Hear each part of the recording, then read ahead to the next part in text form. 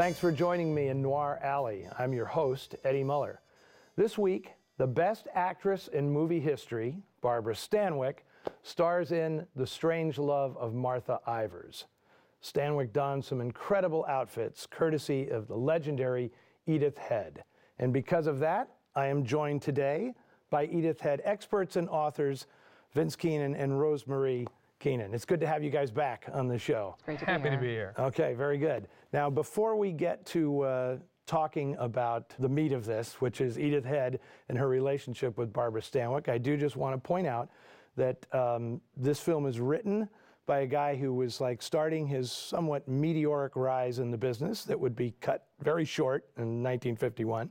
Uh, that's Robert Rossen, the writer who had written um, A Walk in the Sun just before this, also directed by Louis Milestone. It's a little weird to see Louis Milestone making a noir film. It's like the only one on his resume is this one, and it's From the maker of All Quiet on the Western Front. Ex- Not the guy you'd think of for noir. yeah, Yeah. But uh, he does a hell of a good job with this one. Ph- phenomenal.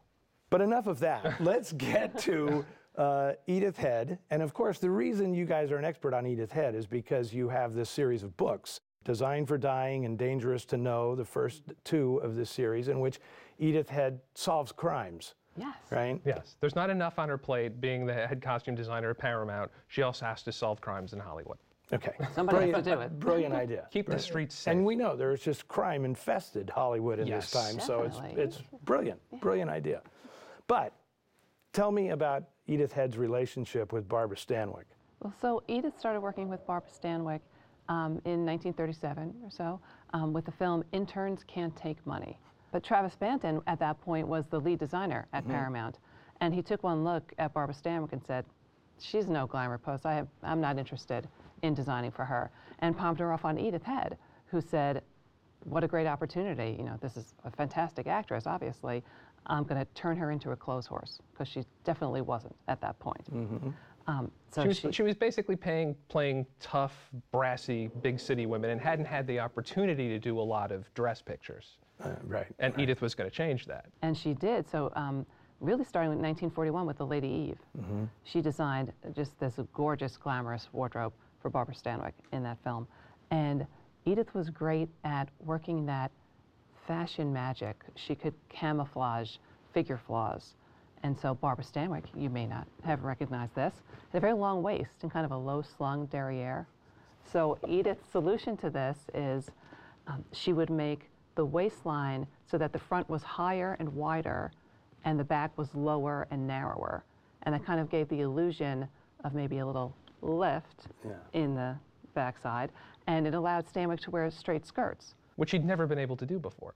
Right, You look at all the films she made prior to her working with Edith Head, no straight skirts. right. And it doesn't have that glamorous look. There's a scene at the end of Martha Ivers that just epitomizes that. The gown she wears, Barbara Stanwyck wears in that last scene, um, is gorgeous and has a wide waistband in the front, lower in the back, and even at one point, Stanwyck is standing in a doorway, and there's the mirror of her vanity is behind her, and you get a perfect shot of both the front and the back of the dress at the same You can time. see the magic you in see action. it happening. I yeah. wonder, I wonder if Edith like dictated that shot. Like you have to put this in the Show movie us to show my work. You Yes. know? Fantastic. Now, and didn't she uh, have an opinion about Barbara Stanwyck's uh, legs? Yes, indeed. She said they were the best legs in the business, better even than Dietrich's. Wow. Which is saying something. That Yes. is obviously. that is definitely High saying praise. something. Yes, yes, Yes. indeed. So I want you guys to have the privilege of introducing this movie today. Wow. Mm-hmm. So are you ready? Yeah. Take it away. From 1946, starring Barbara Stanwyck, Van Heflin, Lizabeth Scott, and in his screen debut, Kirk Douglas.